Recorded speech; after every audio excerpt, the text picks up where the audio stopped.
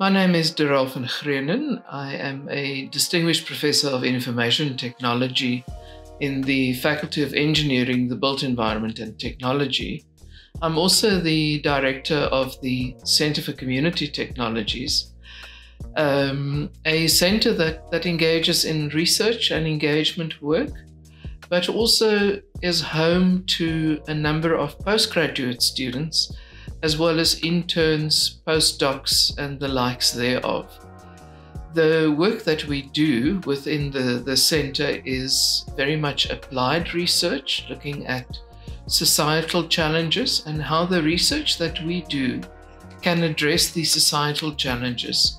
To this end, of course, we then focus on sustainable development goals, also the priorities for Africa, the National Development Plan, and all different policies that would speak to growing our own timber within the African continent and within our African environment.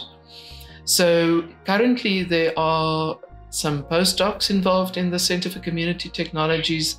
Their expertise range from fiber optic specialists right through to information technology, cybersecurity specialists, and then the latest kid on the block, so to speak, is an intern who has joined us and she specializes in artificial intelligence. So, quite a nice mixture of, of people working in the center, but then also the, the mixture of postgraduate students. There are 15 PhD students attached to the center at the moment, and proudly so from many different African countries ranging from South Africa, Namibia, Zimbabwe, Malawi, Kenya, and Uganda mostly. At the moment, we have a cohort, a very strong cohort of, of postgraduate students based in Uganda at Makerere University. This resulted also from the VC's visit um, to the East African countries and, of course, the renewal of signing the MOU with Makerere University. And out of that came the five new PhDs.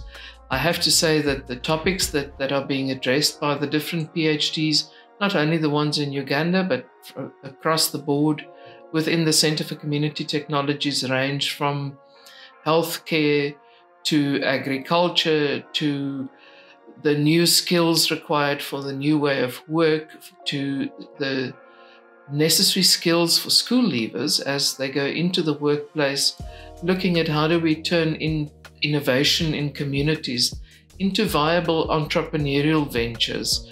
Um, we look at digital storytelling, mental wellness, uh, the non communicable diseases, and so the list goes on and on.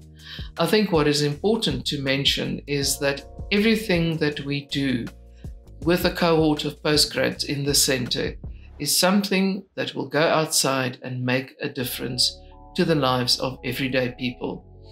We pride ourselves in the fact that our research is done by Africans in Africa for Africa.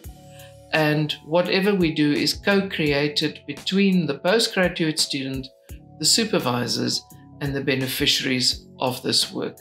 And with that, we hope to live up to the motto of our university, and that is to change the world.